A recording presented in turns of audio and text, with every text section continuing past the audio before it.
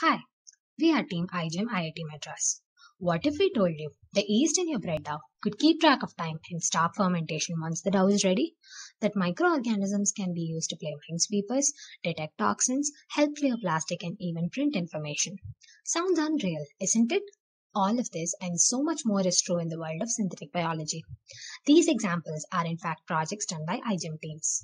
iGEM, or the International Genetically Engineered Machine, is the world's biggest synthetic biology competition, which began in 2003 at Massachusetts Institute of Technology. It eventually expanded over the years with around 450 teams taking part in the 2019 edition. The broad goals of iGEM are to find solutions to local problems, build a better world, and inspire responsible innovation.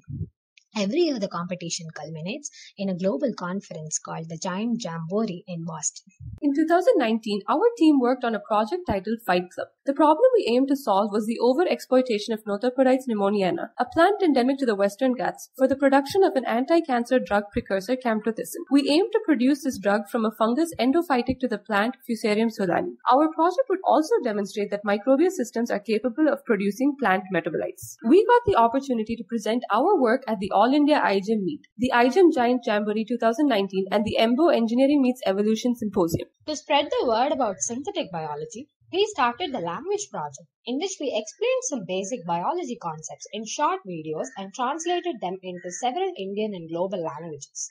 We also designed a comic called The Genie Theory, explaining the basis of sickle cell anemia.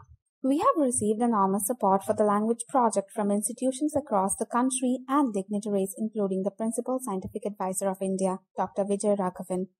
In addition, we also have participated in several public engagement activities within the institute and in schools across the city. Our team has a long history with iGEM, having taken part in more than 10 editions since 2008 and have brought several laurels to the institution.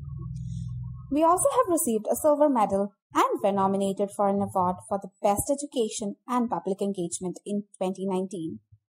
Your support would be invaluable for us to continue the legacy left behind by the teams that came before us.